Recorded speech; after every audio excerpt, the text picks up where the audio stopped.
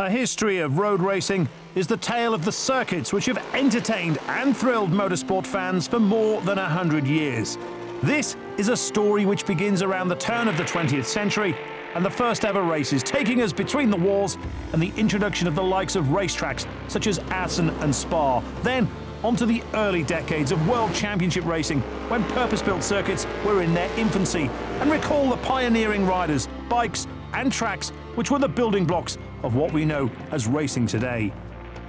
We then travelled through the 60s and 70s as safety became more of an issue and many of the road circuits were abandoned in favour of the new modern racetracks.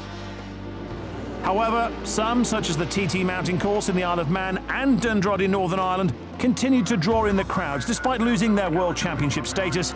And so began new race series as fans continued to flock to these iconic circuits. Yet these were difficult times, and this story tells of the struggle to keep those tracks alive. The tale then continues through to the present day and shows how these racetracks survive in these health and safety conscious times. A history of road racing celebrates not just the tracks, but the riders, the bikes, and the races which made them famous.